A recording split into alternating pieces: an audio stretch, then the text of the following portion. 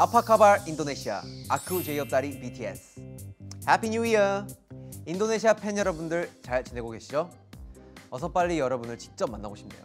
그런 의미에서 오늘은 제가 인도네시아어를 배워보는 시간을 가져보도록 하겠습니다. Guess the meaning. Let's go! 이 하트박스 안에는 정말 다양한 인도네시아어가 있다고 합니다. 제가 이거를 한번 뽑아보고 그 의미를 한번 추측을 해볼 건데요. 과연 어떤 말들이 있을지 굉장히 궁금합니다. 제가 아는 것도 있을까요? 과연? 오 뭐야? 아, 아쿠 아쿠 아쿠 시, 신타 인도네시아 맞나요? 신타인가? 아쿠 신타 인도네시아?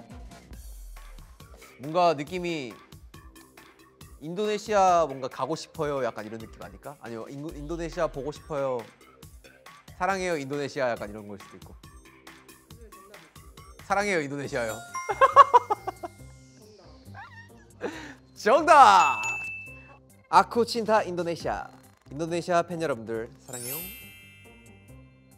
네 어, 인도네시아 팬 여러분들. 어, 여러분들에 대한 감사한 마음을 제 마음속에 항상 간직하고 있는 것 같아요. 팬 여러분들의 뭐 사랑과 성원이 없었으면 사실 지금 이 자리에 저도 없었을 것 같고요. 정말 진심으로 여러분들을 직접 정말 만나고 싶습니다.